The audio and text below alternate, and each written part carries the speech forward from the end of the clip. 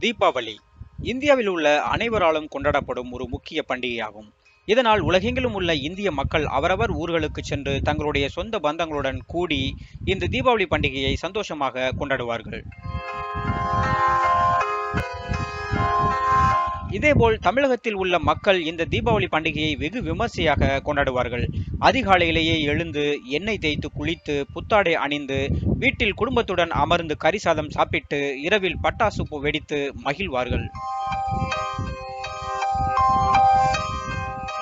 இப்படிப்பட்ட பண்டிகை காலங்களில் பொதுமக்கள் தங்களுடைய சொந்த ஊர்களுக்கு செல்ல பேருந்துகள் கிடைக்காமல் தவிப்பார்கள். ஏற்கனவே ரயில் முன்பதிவு ஜூன் மாதமே முடிந்துவிட்டது. இதனால் சென்னையில் உள்ள பொதுமக்கள் அனைவரும் அவரவர் ஊர்களுக்கு செல்லும் விதமாக தமிழக அரசு சிறப்பு பேருந்துகளை இயக்குகிறது.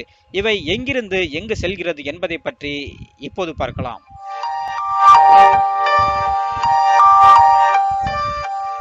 ஈசிஆர் வழியாக பாண்டிச்சேரி கடலூர் மற்றும் சிதம்பரம் செல்லும் பயணிகள் கே கே நகரில் உள்ள பேருந்து பணிமனையிலிருந்து செல்லலாம். இதேபோல் கும்பகோணம் தஞ்சாவூர் பன்ருட்டி மற்றும் விக்கிரவாண்டி செல்லும் பயணிகள் தாம்பரம் சானிட்டோரியம் பணிமனையிலிருந்து செல்லலாம்.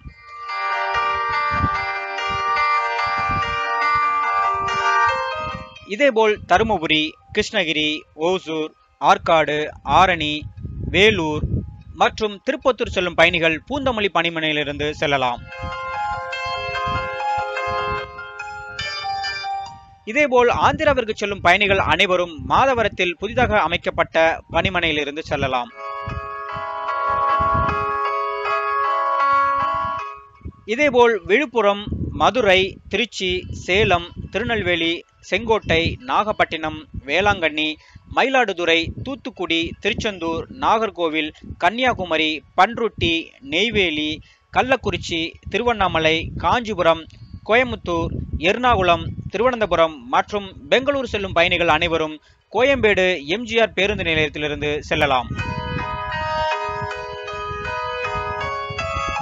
பொதுமக்கள் அனைவரும் இந்த தீபாவளி பண்டிகையை உங்களது சொந்த பந்தங்களுடன் சேர்ந்து பட்டாசு வெடித்து கொண்டாடி மகிழ்மாறு கேட்டுக்கொள்கிறோம். மேலும் சிறுவர்கள் பாதுகாப்பான முறையில் பட்டாசு வெடிக்க வேண்டும் எனவும் கேட்டுக்கொள்கிறோம்.